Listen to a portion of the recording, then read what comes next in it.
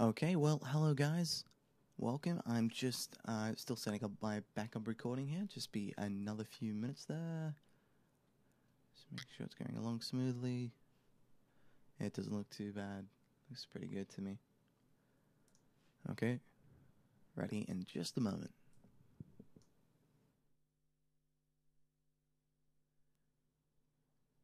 Well, hello and welcome to yet another podcast from Suburban FM Podcasting. My name is Nicholas and I am the proud host of Suburban FM Podcasting. Today we're looking at how a security update hit Windows PCs hard. It was a security update released by the antivirus company known as McAfee.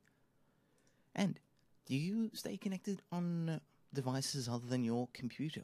So that's your mobile phone or even your iPhone, your iPod Touch, iPads nowadays, or a netbook. All these mobile devices, and even these devices nowadays, which are 3G modems.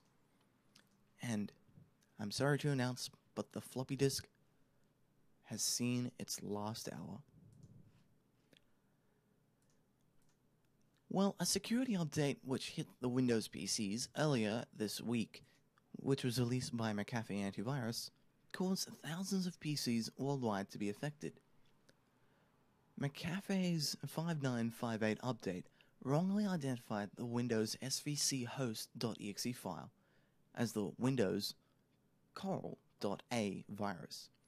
Now, this worm tries to replace an existing SVC host file with its own version to help it, well, take over the machine more easier. The update wrongly labeled the SVC host as virus and then quarantined it. This caused many PCs to crash as Windows uses many copies of the file to keep the operating system running all happily. While computers inside the businesses running Windows XP with Service Pack 3 applied were among the hardest hit. Now, the University of Michigan in the US said 8,000 of its 25,000 computers were hit by the faulty update. The Internet Storm Center said the update was causing widespread problems and said it received reports about networks with thousands of down machines and organizations who had to shut down business until this update was fixed. McAfee was quick to fix the problem though. Within hours, they released an update file free of the mistake. It also issued a sincere apology for the inconvenience caused. Just as well, McAfee has proved himself once again. You know, I had my doubts about McAfee antivirus a few years ago, but you know what? I reckon that they've done a lot to their antivirus program since when I first saw it back in 2007. Back in 2007, it seemed a bit overloaded and childish. Now it looks alright. I reckon it's kind of ahead of its time, if you ask me. Similar in a way to Avast Antivirus, if you've ever used that program, you'll probably know what I'm talking about. Well, it seems like we are connected everywhere we go. We walk to work or we catch the bus to work in the morning, and we seem to be on our mobile phones twittering away. It's just so easy, you know. You've got the application section on your mobile phone, and then you've got Opera Mini 5 Beta browser. It seems that the number of these devices is increasing. It is expected to increase to 1 billion by the year 2013, according to analysts. Now, with just about every device able to connect to the internet these days, they reckon that around the world there is currently 450 million mobile internet users worldwide, and it expects this number to continue to soar as the world plus dog connects to the World Wide Web with their mobile phone, netbook, toaster, and so on. We are even seeing nowadays internet TV is really taking off. So we're really staying connected wherever we go. Now, the number of mobile devices with internet access has simply exploded over the last years, says a technological advisor in Washington. With a wealth of information and services available for almost anywhere, internet connected mobile devices are reshaping the way we go about our personal and professional lives. Just in the last week, Twitter has in fact purchased an antivirus uh, sorry, has in fact purchased an SMS site, which was a startup SMS service in the US. It was in business for one year, and Twitter has purchased that with the hope of mobile users being able to update Twitter more easily from their mobile phones.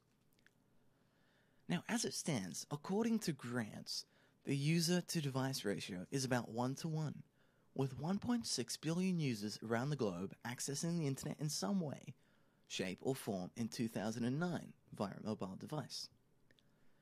Similarly, of around 1.6 billion devices, including PCs, mobile phones, and online video game consoles, are also used to access the internet.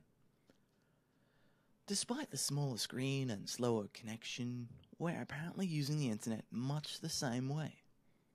While we're out and about, as we do at our desk, namely using search engines, reading news and sports information, downloading music and videos, and sending and receiving emails and instant messages. That is why by 2013, it is expected that 1 billion users worldwide will be using mobile internet services on a day to day basis. Sounds like a lot, but we're using it for today. Well, if you've ever thought about purchasing a domain, now is the time. Up for grabs is the one most searched for internet domain. Yes, that's right. Sex.com. Everyone's done it at least once, typed it into the address bar at the top. Well, it's up for grabs again. It is expected to sell for US $1 million. Obviously, it's not going to go cheap, as that was what it sold for previously. The website attracts 120,000 unique visitors per month for nothing other than the name. But frankly, that's not a massive volume when you consider web traffic that sites like Facebook or even Twitter receives. However, with that name, it might have the potential as a money spinner for some thrusting business group with a bulky finance portfolio and an ambition an ambitious plan. Oh, it's really hot in Townsville today. Tell you what, we have been experiencing some of the hottest weather this summer.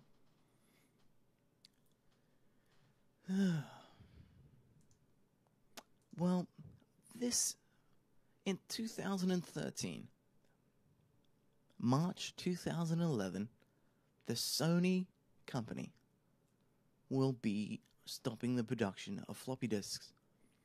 Earlier this year, Sony stopped selling the disc in most international markets due to the dwindling demand and competition from other storage formats.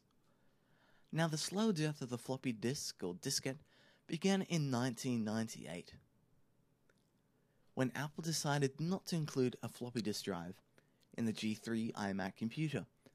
Since then, various other firms have stopped support for floppy disks, including